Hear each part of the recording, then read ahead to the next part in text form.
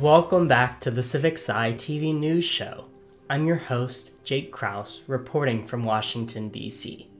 This week, we have some new research on science and art and opportunities to hone those public engagement skills, so be sure to watch until the very end.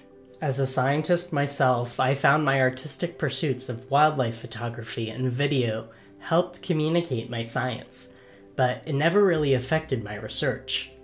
A new study has found that artistically inclined scientists must strike a balance between science and their creation of art.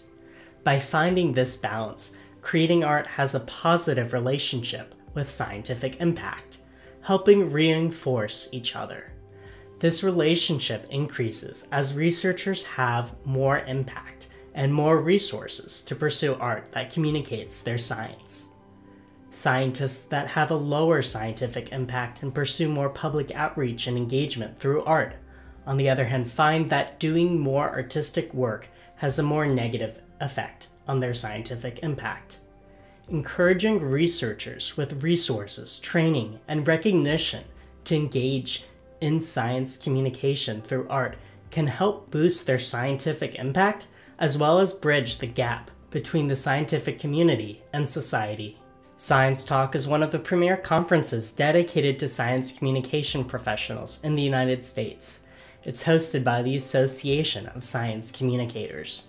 The hybrid online and in person conference will take place in Raleigh in April. Session proposals for Science Talk 2025 are now open for submissions, but they're due tonight. The application is brief, and I myself am submitting a proposal, so may the odds be ever in your favor. There is a webinar describing the on the spot feedback technique to improve public engagement with science. The tools for analyzing audience thinking and feeling are revealed in this hour long recording. The focus is on receiving and incorporating audience feedback on the spot, such as through changing the pace, diving into audience interests, or being more relevant to lived experiences.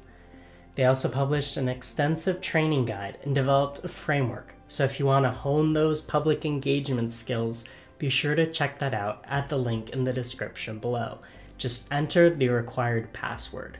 With the upcoming 2024 US presidential election in full swing, the National Science Policy Network is hosting meetings focused on communicating science on the ballot. The meetings provide an opportunity to meet with others in science policy, provide updates on the work that they're doing, receive training, and workshop any challenges that they're experiencing. The last meeting before the election will take place on October 3rd, with monthly meetings following the election, as there will still be plenty of work to do getting science on the ballot. Thank you so much for watching this week's Civic Science News Roundup. Subscribe to the channel to stay up to date on the latest news and opportunities in civic science.